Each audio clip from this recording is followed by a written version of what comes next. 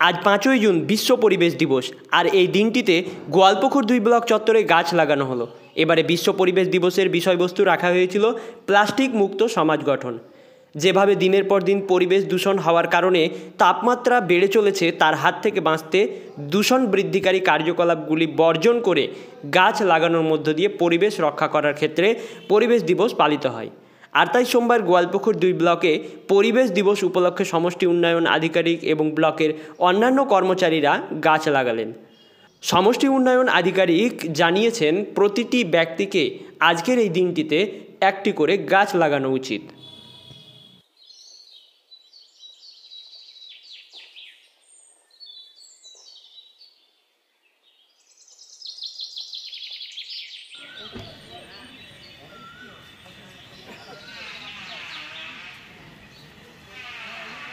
আজকে দেখুন বিভিন্ন জায়গাতে এই কর্মসূচিগুলো করা হচ্ছে।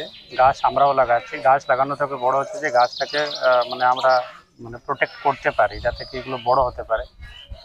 তো এটা দেখা যাচ্ছে কি যে উত্তরবঙ্গ জুড়েই বলা যায় যে তাপমাত্রা বেড়ে দূষণের? আহ, একদম দেখুন যেভাবে পপুলেশন বাড়ছে আমাদের যেভাবে গ্লোবাল ওয়ার্মিং বাড়ছে সেখানে কিন্তু পরিবেশ আহ, দূষণ স্বাভাবিকভাবে বাড়বে। তার একমাত্রই উপায় হচ্ছে যে আমরা গাছ বেশি করে যাতে লাগাই।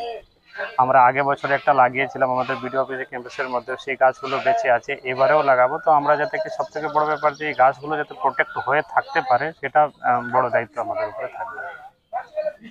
স্যার এই ক্ষেত্রে মানে সাধারণ মানুষের জন্য কি মেসেজ থাকবে? আমার তরফ থেকে প্রত্যেক ব্যক্তিকে একটাই অনুরোধ করা যে অ্যাটলিস্ট একটা করে আপনারা গাছ লাগান অ্যান্ড সেটাকে বড় হয়ে পর্যন্ত আপনারা বাঁচান।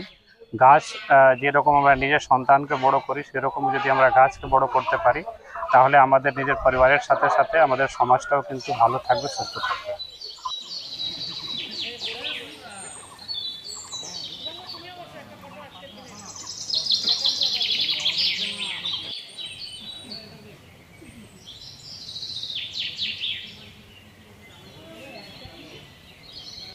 এখন বাংলা সহায়তা কেন্দ্রে পেয়ে যান বিনামূল্যে একাধিক সুবিধা।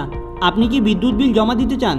আর চিন্তা নাই, এখন থেকে বাংলা সহায়তা কেন্দ্রে অতিরিক্ত চার্জ ছাড়াই বিদ্যুৎ বিল জমা দিতে পারবেন। এছাড়াও জমি সংক্রান্ত সমস্ত রকম অনলাইন জমির মিউটেশন, খাজনা, প্লট ইনফরমেশন কনভার্জন ইত্যাদি বিনামূল্যে অনলাইন করতে পারবেন। তাই তাড়াতাড়ি যোগাযোগ করুন বাংলা সহায়তা কেন্দ্রে। সৌজন্যে গোয়ালপুকুর টু ব্লক।